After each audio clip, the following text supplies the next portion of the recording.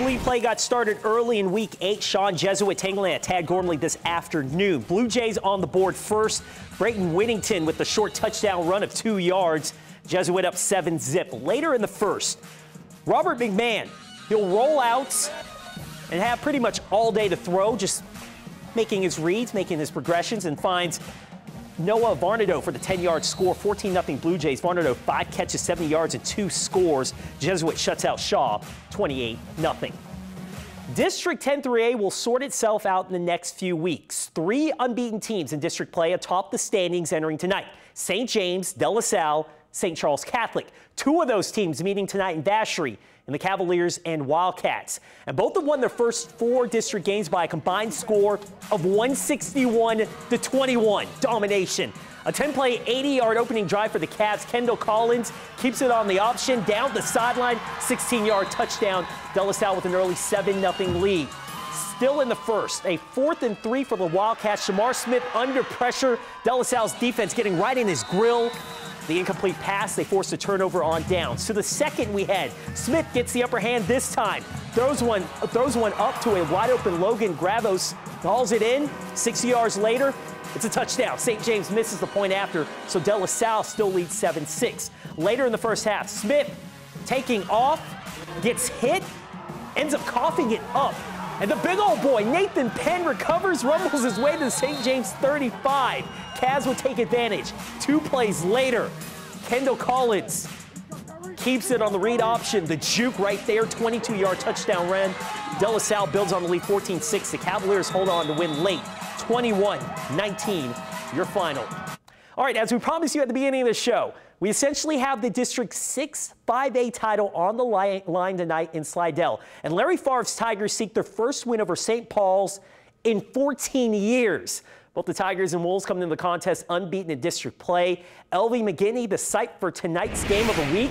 And that's where you find Andrew Doak with more. Hey, Andrew. Hey, Ricardo. Yeah, we knew coming into this matchup it was going to be an offensive showdown. St. Paul's coming in averaging 35 points per game. They hung 72 against Ponchatoula last week. Meanwhile, Slidell scoring 36 points a game, but a lot of people picking the Wolves in this matchup because the Tigers hadn't upset Slidell in, in since 2004.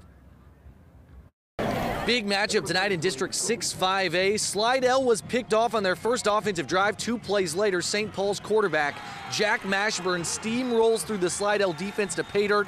It's 7-0 St. Paul's. Ensuing drive, Slidell quarterback Jacob Gidry makes up for it. Dixon slips behind the defense, and he's down the sideline to the house. It's 7 up. Next drive for the Wolves, running back Carter Ely punches it in from four away. It's 14-7 Wolves. Following drive, watch Gidry checks to a hot route up the seam. Brandon Span, the beneficiary, great check, and it's 14 all. After a great fourth down stop deep in their own territory, Tigers dial up a nice misdirection with a delayed shovel to Dixon, and he's gone in a flash 70 yards. Tigers take the lead 21-14. Good call, coach. Good Next, St. Paul's drive 39 from the Wolves zone 31, and Mashburn picked off Markeegan Gray with the turnover to even the turnover battle. And with under a minute, fourth and seven at the 31. Look at this, another check by Gidry. The fade route Jordan Smith hauls it in. You make the call, but they call him in, and it's 28-14 Slidell at the half. St. Paul starts the second half with a defensive three and out, a block punt that leads to a touchdown. They get back within one score, but two drives later, maybe the biggest drive of the game for the Tigers, they go 89 yards down the field and Gidry links up with Tito Simmons to make it a 35 to 21 lead.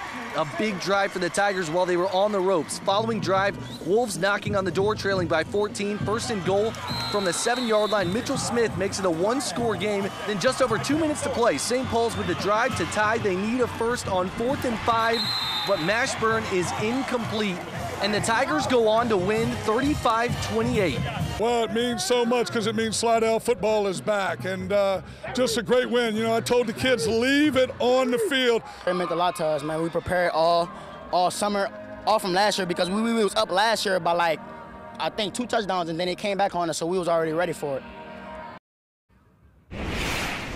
Dixon finished with 214 rushing yards and two touchdowns. Just a little perspective for you Matt Forte, who played at Slidell the last time that the Tigers upset St. Paul's, he was one year removed from the Slidell football program and a freshman at Tulane. Here live in Slidell, Andrew Doak for Fourth Down Friday.